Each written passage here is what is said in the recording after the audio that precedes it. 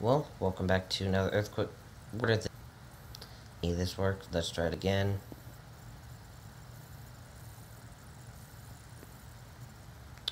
Okay, now just being loud. Tump.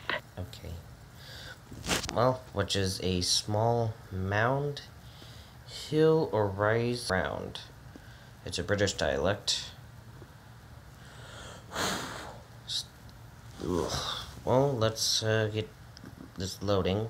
And the other definitions include a clump of grass, shrubs, or and a, a heap or, or stack as a, as a haystack.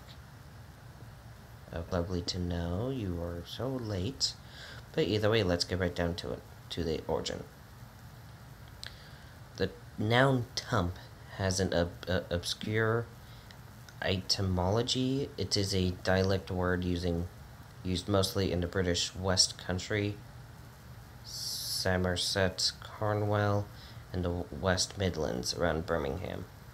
Tump may come from the Welsh noun tump, or twump, I don't know, which does sound like Trump, but just tump. It's missing the R. So, yeah. Round mass, hillock,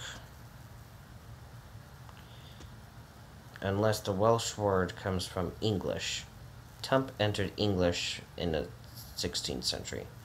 So you're just dealing with some freaking fly flying around and all that crap. But either way, that's really about it. So let's hear it one more time. Tump. Which does sound like she's saying Trump. And clear some notifications. That's gonna get fixed. And see you in the next video. Bye.